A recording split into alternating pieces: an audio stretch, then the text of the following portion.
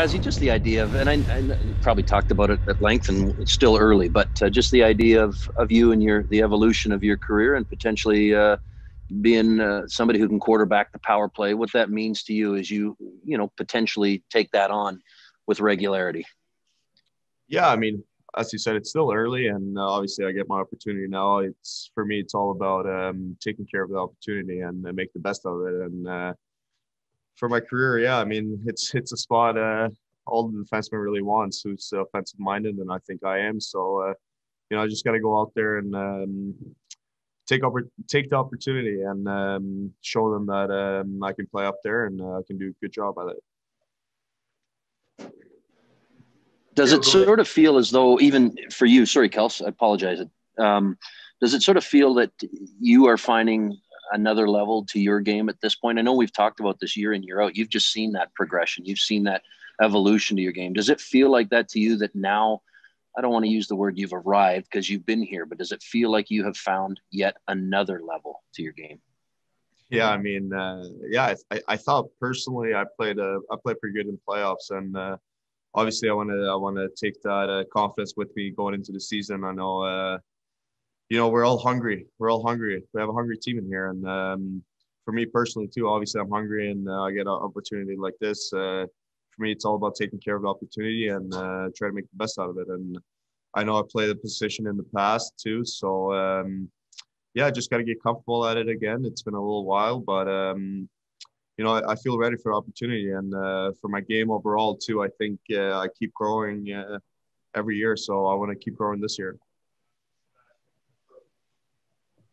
Okay, we'll go to Danny Austin next. Sean, uh, Rasmus, just playing with Noah Hanifin. Um, what does he do to make your your life easier out there?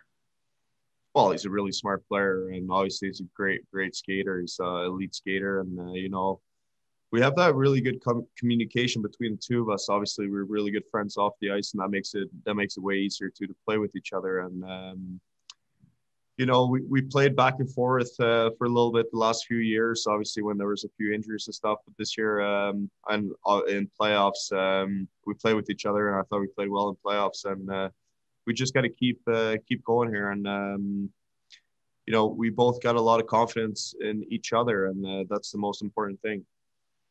Thank you. Wes Gilbertson. Erasmus, I know uh, for the last couple years, it, it, feels like we've talked about you as a guy who was, you know, kind of pushing to be on that top pair. When you come into camp and, and it's maybe more a case of, you know, you're a guy who's expected to spend a lot of time on that top pair. Does does anything change mindset wise? Does that change anything for you? Um, not really. Uh, obviously when I'm on the power play changes because uh, the last few years I played a flank and uh, so uh, it, it, changes a little bit obviously but um, you know it's a position I grew up playing and um, I've always felt comfortable in the position and uh, you know now it's just uh, now it's just the time of getting back to being comfortable in the position I haven't played obviously in the last two three years so uh, you know the, the reps and practice are really good, and uh, tonight's going to be a good test too. And um, you know, I feel ready for it, and uh, I feel excited about it. That's the most thing I feel excited about. I feel excited to show, you know, the coaching staff that I'm the man for the job, and um, I got to do the little things right. I got to bring up the puck with uh, a lot of purpose and uh, try to give as much space and speed to Johnny and Lindy and uh, you know Chucky and Monty up there. And when I have the opportunity to shoot, I got to take it and uh, so that's that's the one thing that's that's the thing I'm focusing on, right? To just um, to show everyone that um, I can play the position and I can play good. Okay, we'll go to Slim next. Hey Rasmus, how much um, goes into exit interviews after a season and you telling the coach, hey, that you want a specific role and and sort of honest communication between you and Geoff during those exit interviews? you now have the quarterback job here. How much of that was sort of built off during your exit interviews from last season?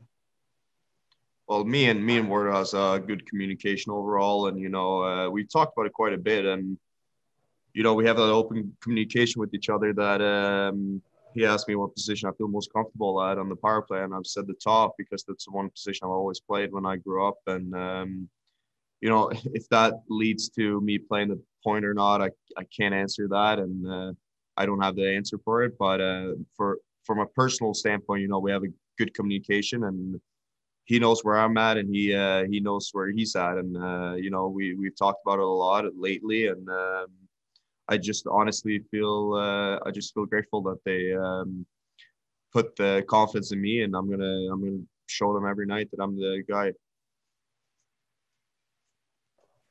Okay, back to Wes. Rasmus, it feels like you spent maybe more time around Calgary during the this off season than than a lot of the guys who haven't made this a full time home. What what went into the decision to be here as long as you were? Uh, well, obviously it's a pandemic around the world, and uh, we we haven't bought a house or apartment back home. We rented it um, before COVID situation hit, so we rented it to the end of August, uh, like a normal season would, and then um, my fiance she's uh, studying, so um, she wanted to be somewhere safe, and uh, I I didn't mind staying here at all. You know, I have a obviously a lot of good friends in town, and um, and as I said, it's a pandemic around the world, so it, it, in my opinion, I don't think it really matters where you would have been. I mean, it's the same back home. You know, I I'm, I was still really careful of seeing my parents and stuff when I was home with my grandparents and all of that stuff. So um, it, it, was a little bit of everything, honestly. But um, the main reason was it was a pandemic, and you know, we uh, I, I, don't mind staying here because I know work with RVA and Selby uh, every day is uh, is really good for me, and uh,